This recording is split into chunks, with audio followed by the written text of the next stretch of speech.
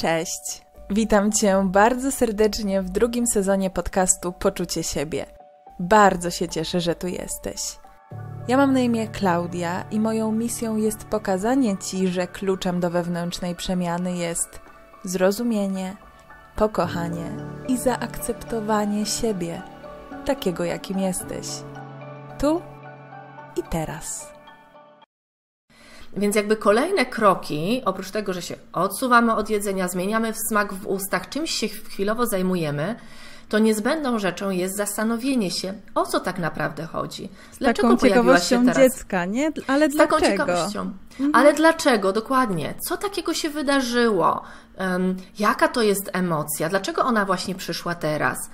Przy czym te emocje to są takie, które przychodzą teraz, czyli na przykład dostałam jakiś telefon albo coś się wydarzyło w pracy, ale bardzo często to są historie z przeszłości, z dzieciństwa, to są też traumy, które w którymś momencie zaczynają wychodzić, bo um, nieprzeżyte kiedyś emocje, nawet jak je zagrzebiemy, to one nie znikają i one właśnie wychodzą i wychodzą między innymi pod postacią e, zaburzeń odżywiania.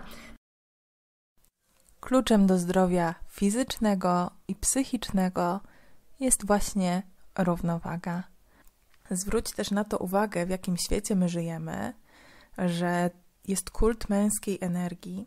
Ta żeńska energia jest uważana za gorszą, a tak naprawdę potrzebna jest równowaga. No to mam takie pytanie na początek. Czy okres musi boleć? Czy to jest normalne? No nie, nie, nie, nie, nie, nie. I cieszę się, że o tym właśnie mówimy. E, bo trzeba te mity obalać, tak? Bo przez lata kobiety słyszały od lekarzy, tak? Że to jest taka pani uroda. Ja po prostu bardzo nie lubię tego określenia, dlatego że e, nie ma takiej jednostki chorobowej jak taka pani uroda. E, często słyszały, że jak urodzi pani dziecko, to pani przejdzie. Nie Dokładnie, to, to samo dziewczyny, słyszałam. Tak, dziewczyny, które mają lat naście i być może urodzą dziecko za lat 15, a może nigdy nie urodzą, bo nie będą chciały, więc wiadomo, że tym pacjentkom e, trzeba pomóc. To może zacznijmy od tego, co to w ogóle jest rezyliencja.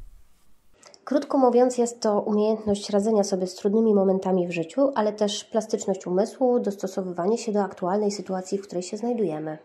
Mhm. I tak dodam, że fajnie, jeżeli mieliśmy taką możliwość, żeby gromadzić te zasoby już od dzieciństwa, potem w okresie adolescencji, wieku dojrzewania, ale nie każdy miał taką możliwość.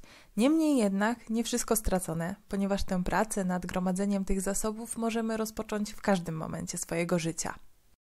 Przychodzę dzisiaj do Ciebie z takim odcinkiem pogadankowym, e, w którym mam zamiar znormalizować normalne rzeczy. No i o co chodzi? Skoro coś jest normalne, to po co to normalizować? Chodzi o to, że rzeczy, o których będę mówić, one są normalne, one są dobre, one są dla nas zdrowe, ale ponieważ żyjemy w takich czasach, jakich żyjemy, w takiej kulturze, jakiej żyjemy i mamy różne schematy i przekonania, to rzeczy te nie są tak oczywiste, niestety, a chciałabym, żeby były. Dlatego o tym dzisiaj porozmawiamy.